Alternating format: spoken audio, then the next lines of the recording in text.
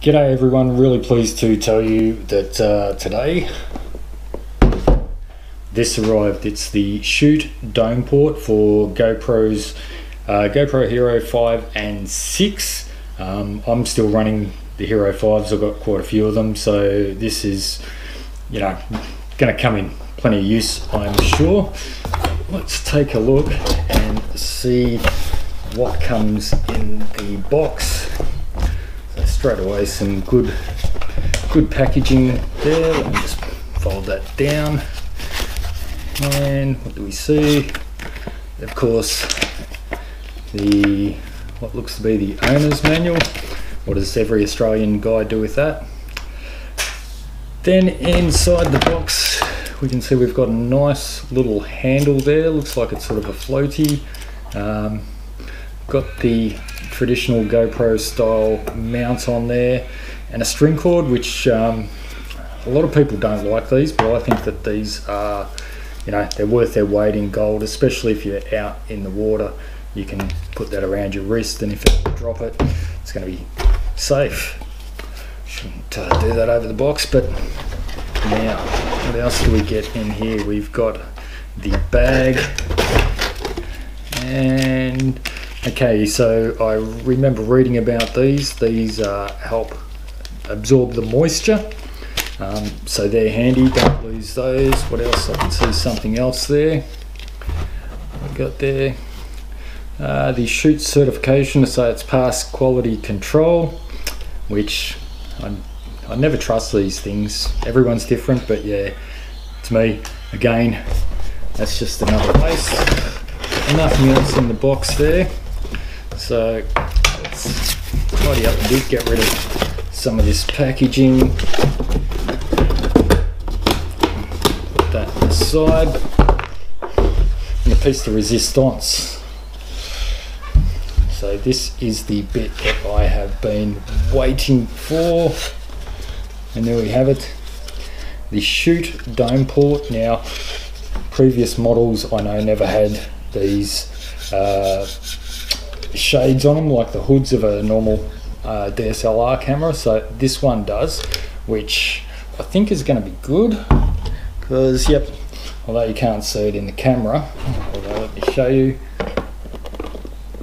Does offer a little bit more protection on the dome itself. But before we peel the plastic off let's take a look at the back and see what we have here. So straight away we've got some little screws here to access the cover. Now one thing I do know about the GoPro case inside is it is rated to 40 meters. Um, for those of you not in Australia, I can't remember what that is in feet. Um, but yeah, it's uh, 40, 40 meters in the metric scale. Now here's a bit of a tricky bit. How does this part here open? Does it open like a normal GoPro case. Maybe I've missed something. A bit of a trick here for young players. Ah, there we go. So there's trying to get it past that button there. Um, just sort of got to pull that out a little bit. And then we can see the housing there. Now, there's another button there. I wonder, ah, okay. So just there is a little slide tab that has to I guess, come across. Yep.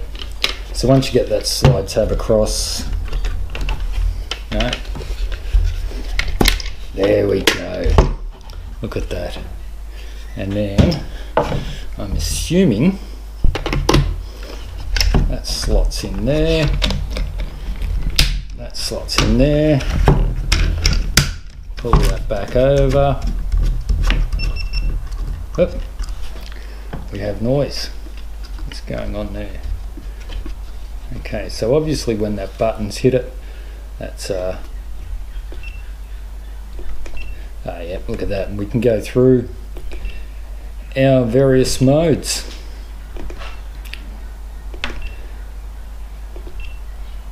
And back to video, which is where I normally have my GoPro set. And all right, now let's get this bad boy off. Look at that. There we go. So we can now start shooting 50-50 video. Now, if I bring that up there, there's not really any distortion on the screen. And what I might even do is uh, fill up the bathtub and see how it goes. But before we do that, let's attach this. Now, one thing I know with a lot of aftermarket accessories, that nut there normally comes loose. On this one, it's tight. So, um, yeah, excellent work there, shoot. I do like that. Um, one other thing I have noticed when I checked out the reviews of these is that a lot of people said that um, there were parts of these domes that they really didn't like. One was the mount and so forth. I checked it. Um, quite a few different brands on the market, and uh, was certainly one that stuck out. And whilst the idea of having a trigger to shoot is great, um, I didn't like the fact that you could not see the display screen. And what have I done there? Okay, so excuse me, having a blonde moment. Um, it is quite difficult to get your fingers onto this and so straight away I can see I've got movement. So that creates an issue but of course you do have the Phillips head attachment there so you can always get a Phillips head.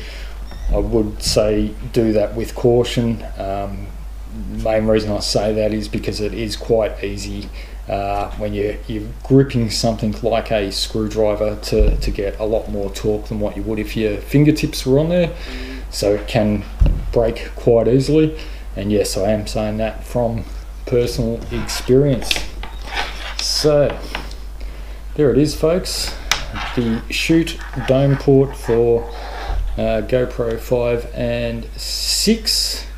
Now, let me just turn that off. Because one thing I did want to see is